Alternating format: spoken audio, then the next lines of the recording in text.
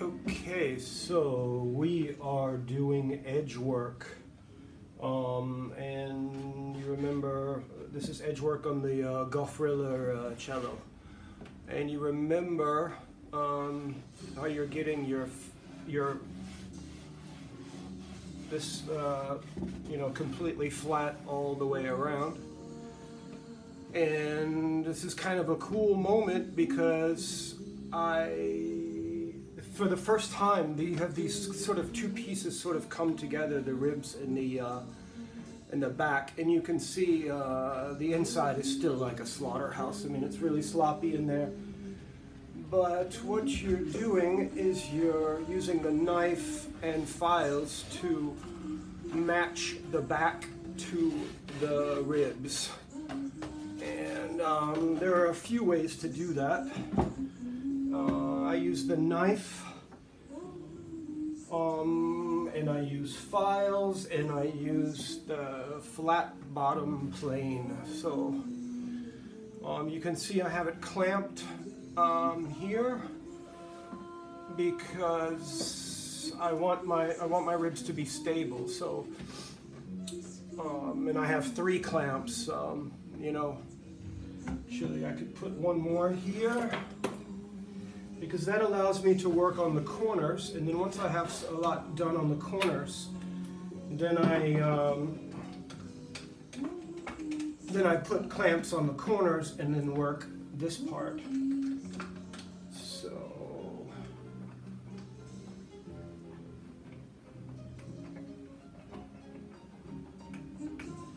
Okay, so the first thing um, is I'm going to take my calipers and a pencil. I usually have a pencil.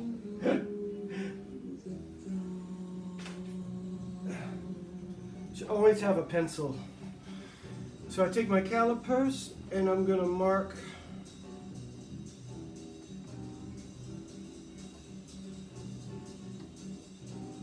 the place where the corners touch. Right?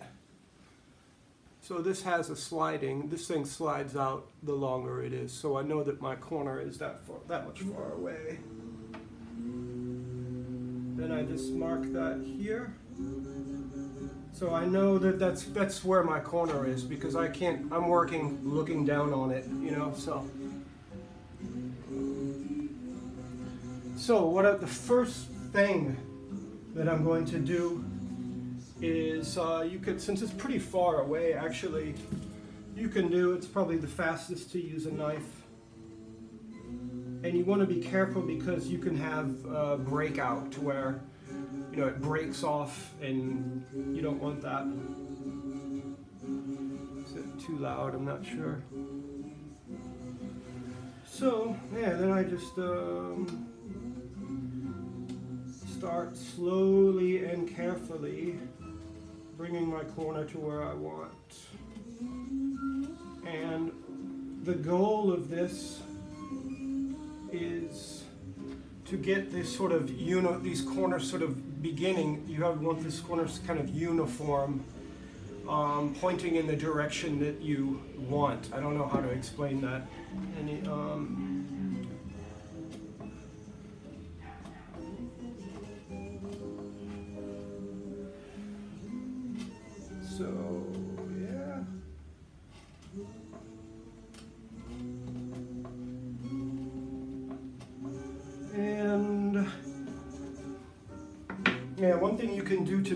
is to is just, just to take this and oh, that's way in there. There we go. So here is my rib here etc. I kind of know already. I, I've done, you know, right? There's a kind of now you have a kind of map of you're at, you know. Actually, I never, I don't do, really do this. There's my rib.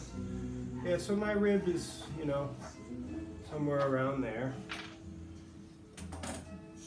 So, um, and if you read the Möckel uh, Kunst des Geigenbau, then he says there are fi- file virtuosi, you know, these fi- file virtuosos.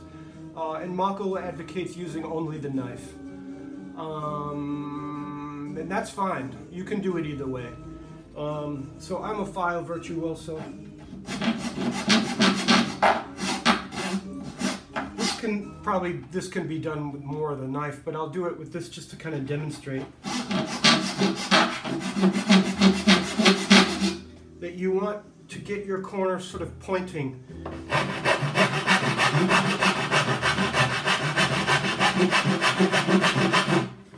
Yeah, you can also feel with your finger. I, I, I kind of know where my ribs are here, you know. So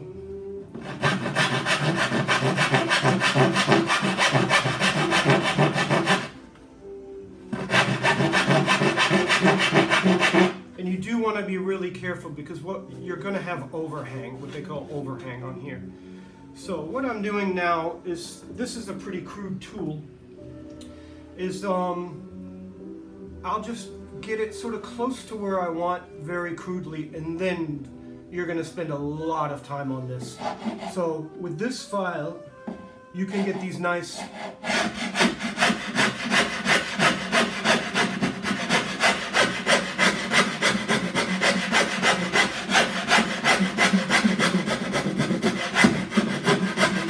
sort of this motion going this way, right? So so you don't you don't want to make this U shape in the um,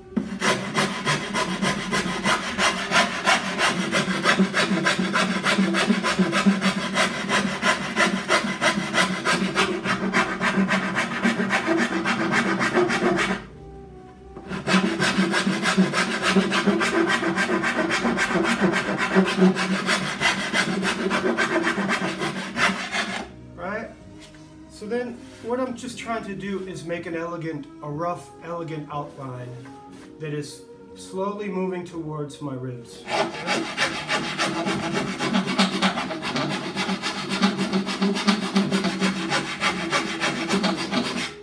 Because, I don't know if you can see, but I mean, this is really ugly, you know. Here you um you have cuts from the spiral blade, which you know it's not accurate. So I'm just using this file in the beginning.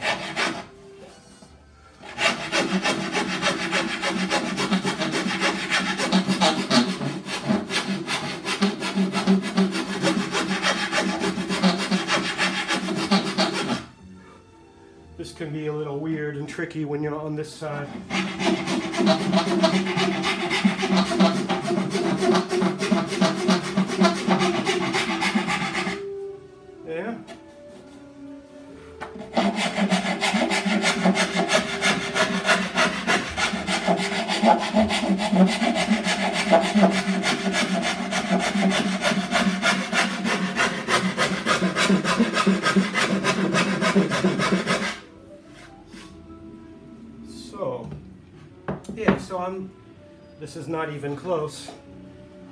Take a peek at what's going on. Yeah, so you can see, I don't know if you can see, it's a little bit more elegant, yeah? But it's not even close. Um, so I can do more of the rough filing.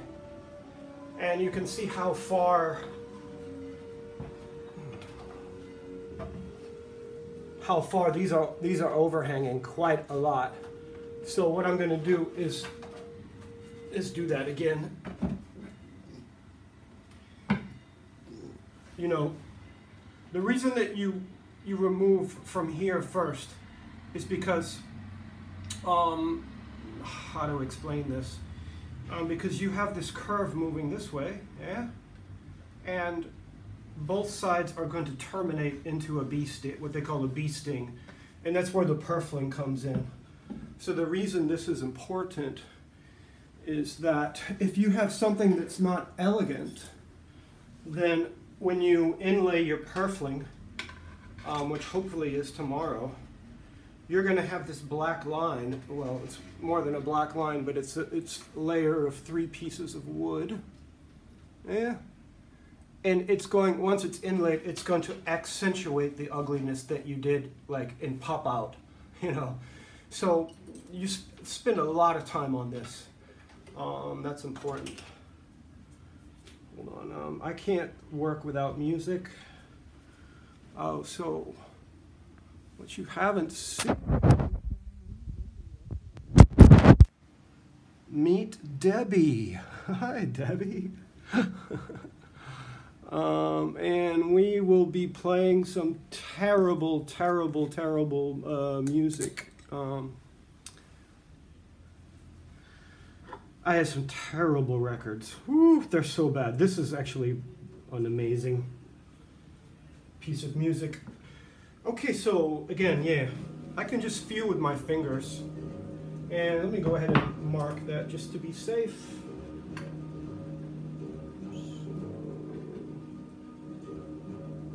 So my corner is the tip of my corner. Once again, I lost my pencil. I'm like, where is it? Where is it?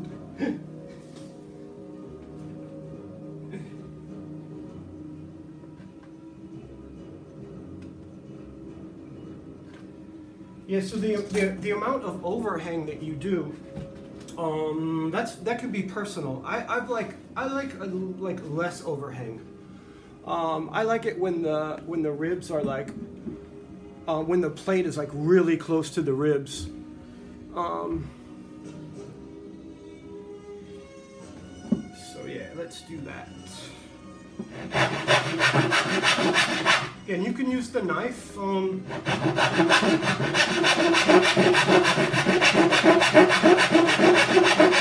I really like this tool though. This is, I'm a fi file virtuoso, so.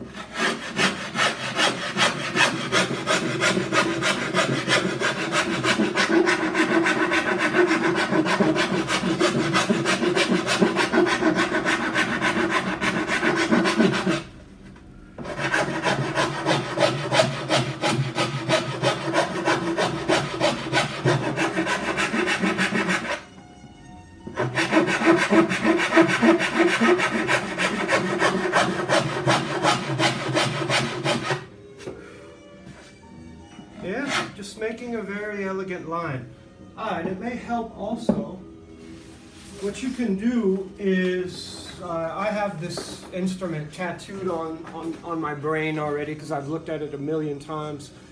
But you can um, have a photograph of your instrument, say maybe if you have your iPad here and you're just looking at it. You know, it's um, it's what, what what you call a visual memory, where you you start to develop a sense of um, just looking at things. You know, um, and you can do that in your everyday life. Um, for instance, uh, doing painting um, or draw, drawing. Not drawing violins. You can draw violins. That's a great idea. But also um, figurative drawing or draw anything, still lifes. Um, this will help you train your eye to, to see something and replicate it in wood. Um, I like doing uh, woodcuts, uh, which is in the back there. You can see a naked lady. Um, yeah. Um, because I'm better at carving wood than I am drawing. Um, and there's another one on the wall there that's really badly done. You can't see her, but she's. I was trying to draw the the the the breast. You know, you would think I'd be able to draw a breast, right? I've seen them before, but um, I couldn't do it. And then finally, I just took the gouge and like um, and just carved a boob, you know. And I was like, okay, that's it. So. Um, yeah, so you look at the corners of the original and uh, or tattoo it in your in your memory. Um, since I don't make exact copies, um, you know, it will look like a tabor and it will look like a tabor Goffriller or you know. Right. So let's go. Let's work.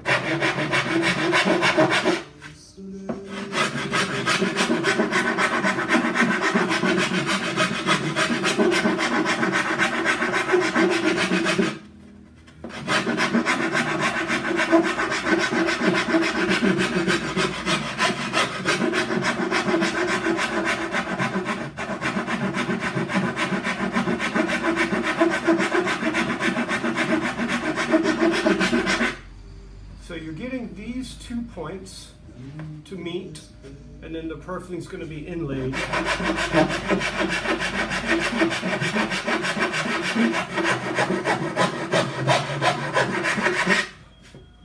So eventually you're controlling the line, but in essence, this line is going to reflect the ribs no matter what. But there's a certain amount of artistic freedom um, in the amount of overhang that you leave. Because for me personally, I, I really don't care about um, perfectly even overhang. Um, that's the kind of thing that they judge the violin competitions with, and you know, it just doesn't interest me. you know, to get perfectly even to a tenth of a millimeter, it really doesn't affect the sound. So I'd rather have something that's kind of freaky and, and that catches the eye because when you put the purfling in, you're going to see that outline. Uh, you're really going to see any ugliness or any sort of, you know, something that's not elegant is going to pop, you know, out. Uh, Oh yeah, that's another thing. Was um, a good reason to work in batches is that um, like right now the varnish is drying on the um, on the violon on the violone. It's sitting on the clavichord soaking up the sun on that side of the house. So um, yeah, so you you know you, you want to have, when something is drying or when the glue is drying on one instrument, you want to be able to pick something else up. That way you can work all day long.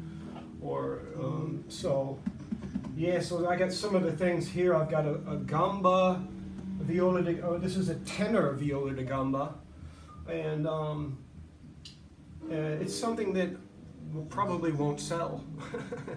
That's good. A lot of times I will make things that I that I want um, and then they hopefully hopefully they won't sell so yeah. it's another good tip work in batches where you make uh,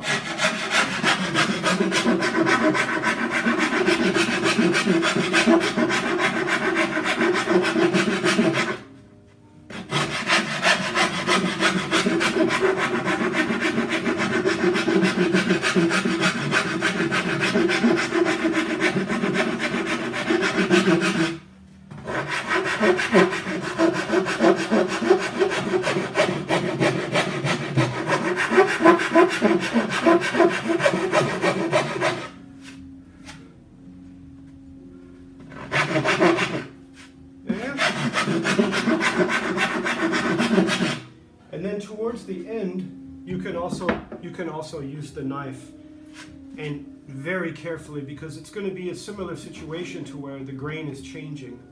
So you'll be that might be a, a, another pretty fast faster maybe actually faster is that you have your ribs this way and then you can actually look at what you're doing and cut with the knife. That's also fine. So this is not ergonomically very good but the grain will generally go, it's going to go this way, and then it usually it will it will change here and start splitting. So then you have to go from the tip of the corner this way, um, and then here it will go this way. Yeah, so I have a lot of meat here. I can use my knife. And the knife actually makes really elegant um, cuts if you're good. Um, I'm just, I like the file, you know. So yeah, that's another way to do it. Um, the reason I like the file is the file doesn't care what direction the grain is going. Yeah? So this is really far away. You see, if you, it's, it's really far away from where I want to go. So that's going to take me a while. Just the main thing is to understand the technique. And uh, let me show you. Yeah, so for, for this part, I use completely different tools. So what I will do is clamp my ribs.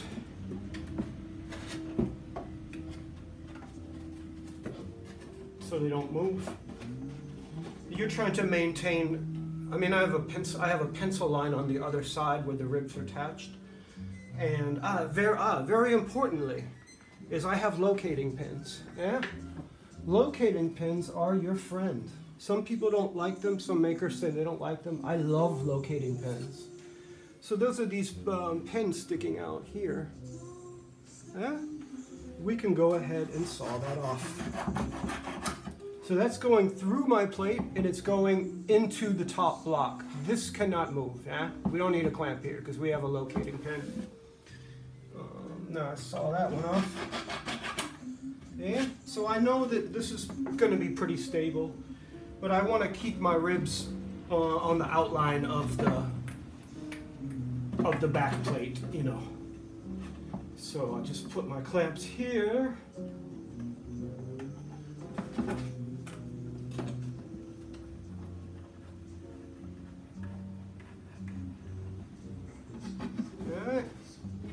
And you probably don't need, need as, as many, or you can just be really safe. But again, you can move, you know, the once the the outline is of the purfling is routed, then you're you know you have to commit more or less. Um,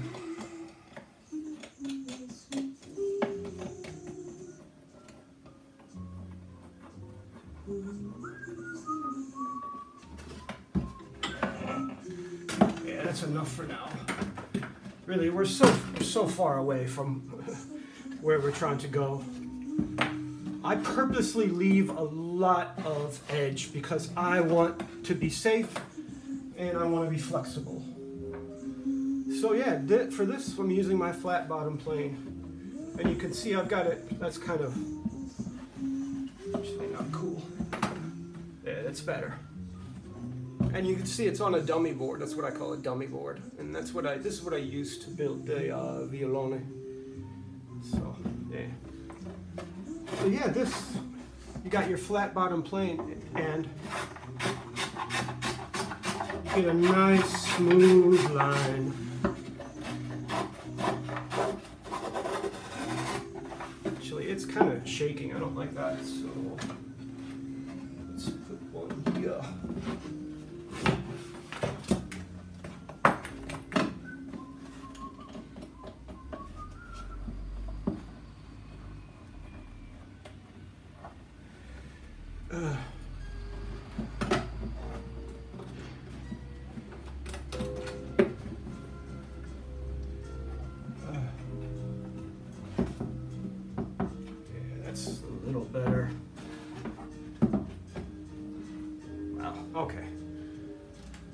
So yeah, it's um pretty self-explanatory now. You're just taking your plane and ma- making a nice smooth line.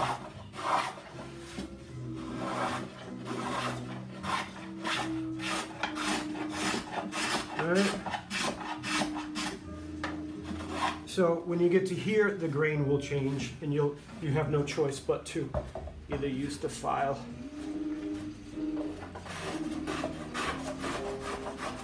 Yeah. All right. And this part, this part you can do pretty pretty fast.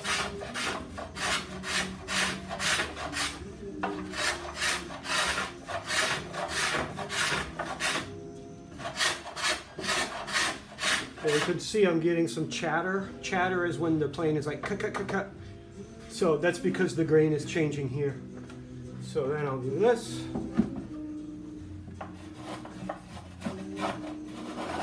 That's really bothering me. It's shaking.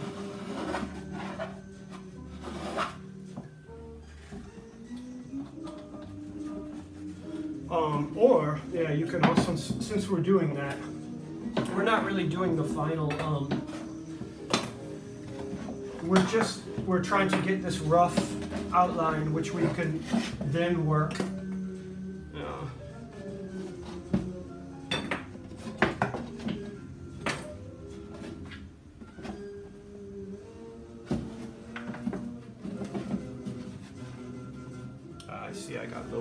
That's what's going on. Okay.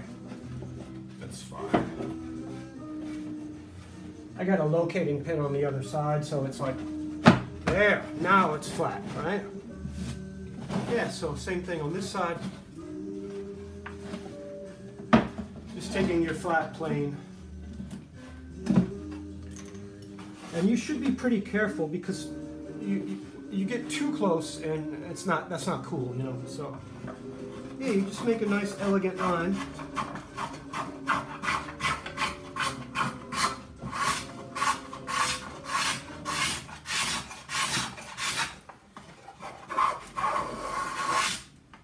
That's a very that's a very satisfying sound.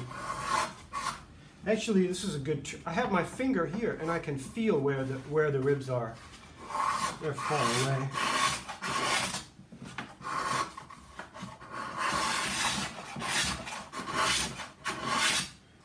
A lot of nastiness there. I can clean that up later. Yeah.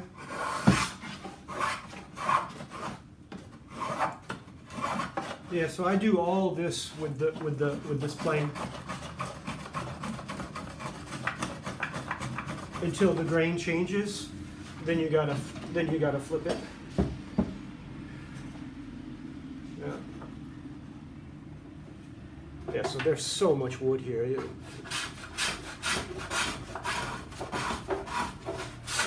could also do it without the ribs attached and just look at your pencil outline um, but I prefer to, to work this way.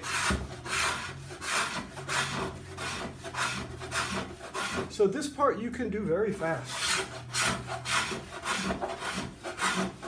See, see how I'm getting chatter? So be, it shouldn't be chattering here. Yeah, it's just that it's just that area. Remember, that's sort of uh, the grain doesn't know what it's doing. You know if you remember. So yeah. And then, so I did this sort of rough. Now do the same thing on this side. Um, again, so you're looking at your corners, right? Your corners are pointing this way. You want this corner sort of pointing a similar way. Then you're looking at your um, you're looking at your original on your electronic device. In my case, um, paper. I don't like, I like paper. Paper's better than uh, computer screen, right? So, yeah. I just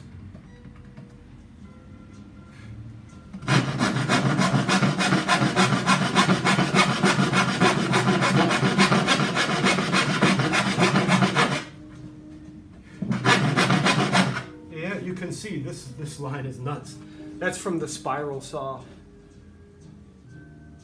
I mean, because you can't really get a coping saw um, in here. You know, you can't you can't cut that curve because the saw is just unless you had a saw that was this. You know. So yeah, I know I got a lot of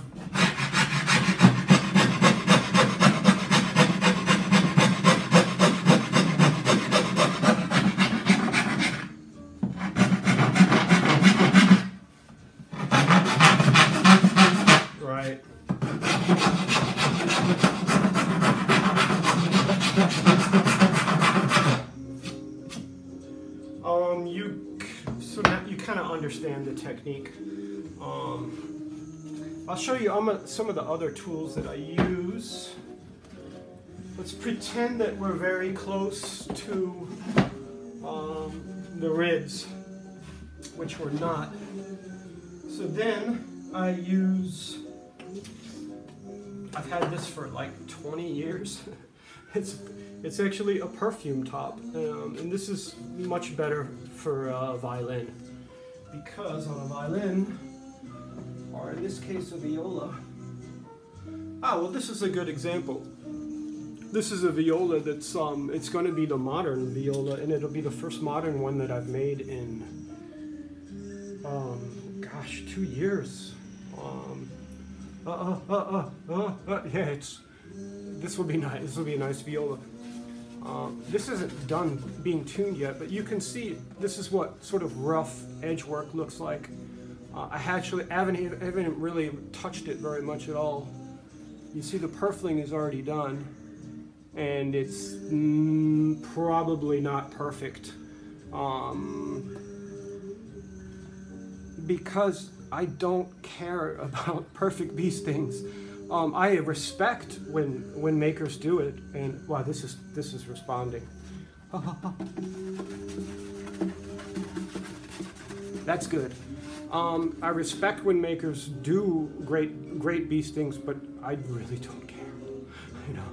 Um, yeah, I'm happy with um, this, but the the edges, as you can see, they're very square. They're very ugly. They're very mechanical. Can see I used the tooth plane here. It looks like. Um, yeah, so that's what you're going for is this very elegant mirror of your ribs and um, the purfling is, just be careful. You, you want to really spend a lot of time when you get to this phase. Um, yeah, so this is a different video, but um, I, I use this, you know? I'm looking at it this way and I'm And because all my instruments are antiqued, I use a lot of sandpaper on the, uh, um, that, that's a different video. So uh, for a cello, you have your baking soda can, right? And you know why? Look at that, it fits.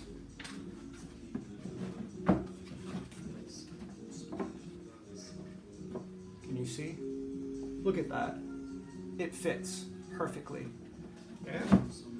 Like Malcolm says, a file in virtuoso, yeah, a file virtuoso. Well, I am a baking soda and sandpaper virtuoso. this is not final. Trust me, this is also just to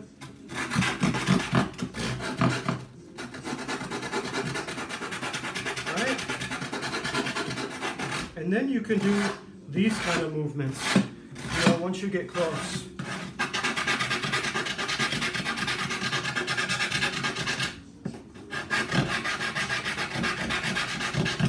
We're still way, way far away. Oh, this is, oops. Shut the top. You can do this.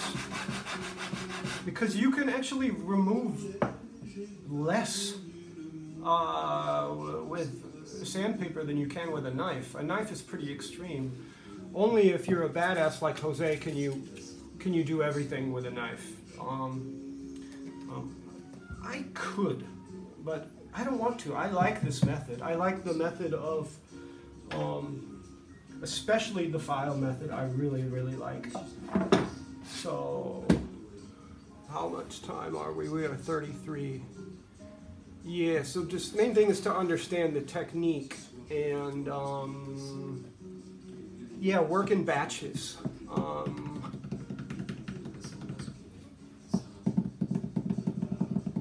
my strategy is uh, you could talk really quickly about um, when you're making your website. Uh,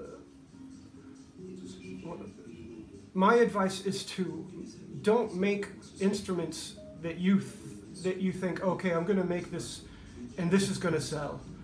Um, my advice is to make instruments that won't sell.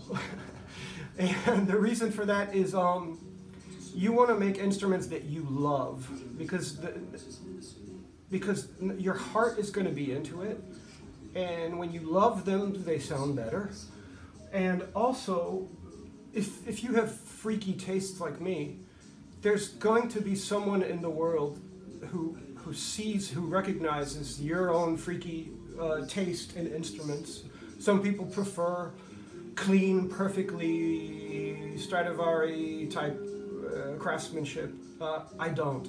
I like freaky, crazy. um, I mean, this is as clean as I get. This is an Amati uh, copy. Not a copy, but a Tabor Amati. And um, I'm trying to, actually, I'm trying to mimic Jose's work on here, believe it or not, and failing, because he is a bad ass. Um, yeah, I'm really following the Amatis kind of um, not so much with the arching, but um, I always do my own arching. But yeah, I have freaky tastes, you know.